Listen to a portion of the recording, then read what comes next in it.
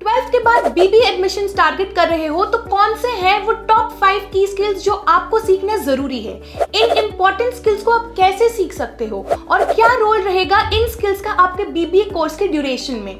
तो अगर आप भी 2024 में एक बी स्कूल ज्वाइन करने वाले हो और इन सारे सवालों के जवाब आप जानना चाहते हो तो आज की वीडियो आपके लिए बहुत ही इंफॉर्मेटिव रहेगी क्योंकि आज हम बात करने वाले हैं five skills that you must learn while pursuing BBA in 2024 के बारे में। हेलो फ्रेंड्स मेरा नाम है नंदिनी, मैं खुद हूँ एक बीबीए ग्रेजुएट और मुझे है दो साल का वर्किंग एक्सपीरियंस इसी के बेसिस पर आज मैं आपको गाइड करने की पूरी कोशिश करूँगी। अगर आप चैनल पर नए हो तो इसे सब्सक्राइब कर ले वीडियो को लाइक और शेयर करना ना भूले। तो चलिए, बिना किसी देरी के स्टार्ट करते हैं आज की इंपॉर्टेंट वीडियो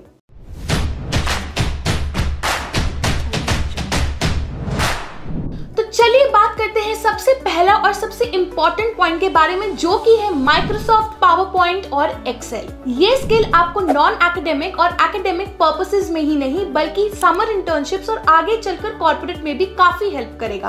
अब मान लो, आप एक बड़े ग्रुप ऑफ़ पीपल के बीच में बैठे हुए हो और आपको अपने आइडियाज़ को प्रेजेंट करना है तो ऐसे में आप ग्राफ्स चार्ट्स पिक्चर्स और एनिमेशन की मदद से एक पीपीटी बना सकते हो। एक पीपीटी आपका वक्त ही नहीं बचाएगा, बल्कि आपके आइडियाज़ को क्लियरली कम्युनिकेट करने में भी बहुत हेल्प करेगा और इससे आप कॉन्वर्सेशंस को लीड कर सकते हो। आइए समझ लेते हैं इसे एक और एग्ज़ाम्पल की मदद से।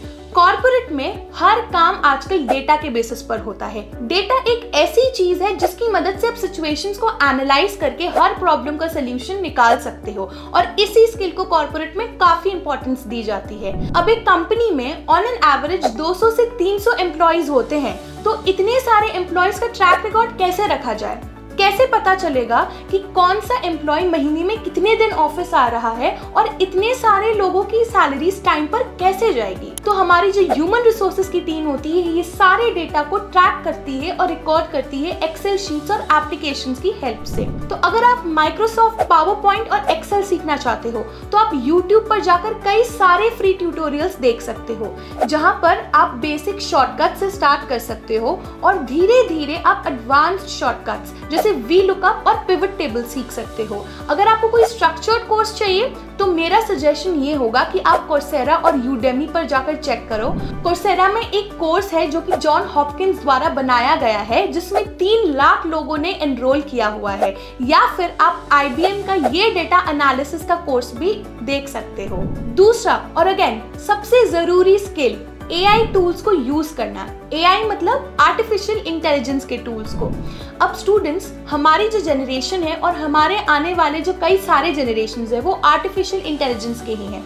फेशियल रिकग्निशन और फिंगरप्रिंट से लेके यूपीआई के थ्रू स्कैन करने तक एआई ने हर जगह इन्फिल्ट्रेट कर लिया है। तो आई एम श्योर आपने चार जीपीटी और बार का नाम तो सुना ही होगा और कहीं ना कहीं आई एम श्योर आपने उसे यूज़ भी किया होगा। इन एआई टूल्स के थ्रू आप कई सारी चीज़ें कर सकते हो। आप डेटा रिसर्च कर सकते हो, अपना कैलेंडर मैनेज कर सकते हो मेल्स पे और एक्सेल शीट्स पे यूज़ कर सकते हो और यहाँ तक कि अपना लिंकडिन भी ऑप्टिमाइज कर सकते हो, जो आगे जाकर आपकी बहुत हेल्प करेगी। तो स्टूडेंट्स चलिए बात कर लेते हैं तीसरे पॉइंट की, जो की है कम्युनिकेशन स्किल्स अब मेरे हिसाब से हर बच्चे को कॉलेज के दौरान अपने कम्युनिकेशन स्किल्स पर ज़रूर फोकस करना चाहिए। ये चीज़ मुझे तब रियलाइज़ हुई जब मैं अपने ज़िंदगी का पहला इंटरव्यू दे रही थी। क्योंकि एफिशिएंट कम्युनिकेशन ये नहीं होता कि आप किसी भी लैंग्वेज में, जैसे हिंदी में या इंग्लिश में फ्लुएंट हो एफिशिएंट कम्युनिकेशन ये होता है कि आप कम से कम टाइम में ज़्यादा से ज़्यादा इंफॉर्मेशन को डिलीवर कर रहे हो। अब आप ही सोचो, अगर आप ऑफ़िस ज्वाइन करोगे तो आप हमेशा एक जूनियर लेवल पर नहीं रहोगे। आपकी भी डेजिग्नेशन विद टाइम और एक्सपीरियंस बढ़ेगी। आप कभी अपने जूनियर्स को लीड कर रहे होगे, उन्हें काम सिखा रहे होगे। कभी आपको अपने सीनियर्स के साथ डील करना पड़ेगा। तो ऐसे में एफिशिएंट कम्युनिकेशन वो होता है जब आप एफिशिएंटली किसी की बातें सुनते हो और उसे समझकर प्रोसेस कर कर जवाब भी देते हो।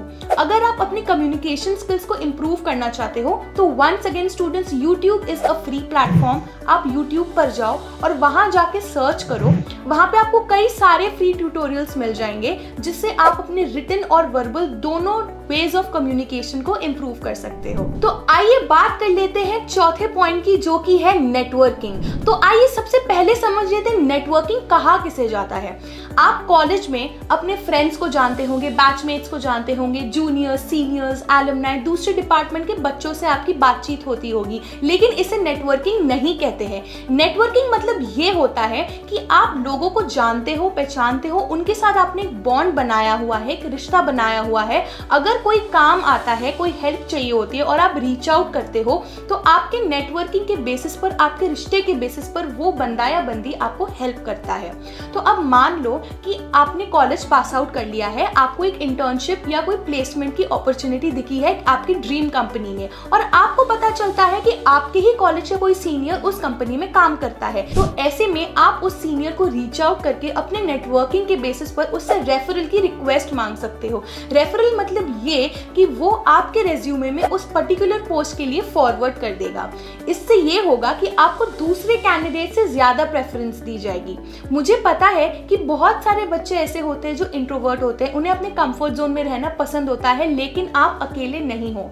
कोशिश करो कि आप नेटवर्किंग करो, क्योंकि ये आगे चलकर आपको जॉब्स में बहुत हेल्प करेगी और यही नहीं अगर आप नेटवर्किंग करोगे तो आपको अपने इंडस्ट्री और फ़ील्ड के बारे में बहुत कुछ सीखने को मिलेगा। तो last but not the least fifth point पर आता है टाइम मैनेजमेंट ये काफ़ी इंटरेस्टिंग और इंपॉर्टेंट के लिए जो आपको सीखना ही चाहिए। अब आगे चलकर जब आप ऑफ़िस ज्वाइन करोगे, आपको एक पर्टिकुलर पॉइंट में मल्टीपल प्रोजेक्ट्स पर काम करना पड़ सकता है। तो ऐसे में आपको सीखना पड़ेगा कि प्रायोरिटाइज करते कैसे हैं मतलब कौन से काम को आपको प्रायोरिटी पे करना है और कौन सा काम है जो अगर आप बाद में भी करोगे तो भी चलेगा।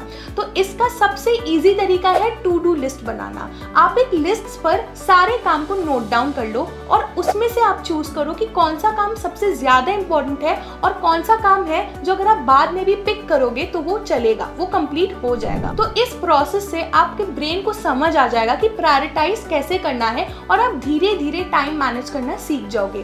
टाइम मैनेजमेंट एक ऐसा स्किल है जो आपको कई सारे लोगों से स्टैंड आउट करने में हेल्प करेगा और धीरे धीरे आप प्रोजेक्ट्स को लीड करना सीख जाओगे।